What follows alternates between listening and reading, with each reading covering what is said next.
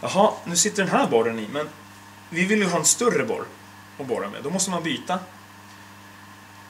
Och pelarborren fungerar precis som de andra borrarna. Den har en sjuck som håller fast borrstålet. Och för att öppna den här sjucken, den är lite speciell för den är en vanlig sjuck så, men så har den en låsring här. Så man behöver vrida på båda. Och då står det på olika språk här, på tyska och engelska, auf och open. Och så är det pilar åt det hållet. Så för att öppna den här nu så att den här ramlar ut. Då tar man tag i sjucken och vrider låsringen så som pilarna visar. Då ramlar borrstålet ut. För här inne finns det sådana här backar, sådana där tänder, som i de andra borrarna.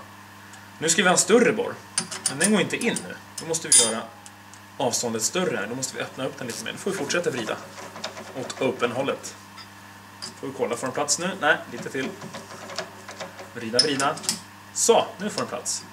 Då ska vi vrida åt andra hållet. Så stänger den sig. Och då vrider vi. Och så kommer det börja låta klick, klick, klick, klick. Och sen går det inte att vrida mer och då vet man att då är den låst. Nu kom det klick och så går det inte att vrida mer. Då är den låst. Så vrider jag upp. Då öppnar vi.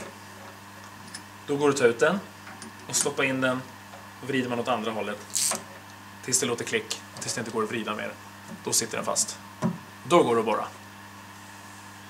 Och se alltid till nu, snälla, snälla, att den är helt avstängd. Att stoppknappen är intryckt innan du börjar byta. Så att du inte rillar dig. Är du osäker på någonting med det här, då frågar du. Fråga läraren eller någon kompis. Man kan aldrig fråga för mycket.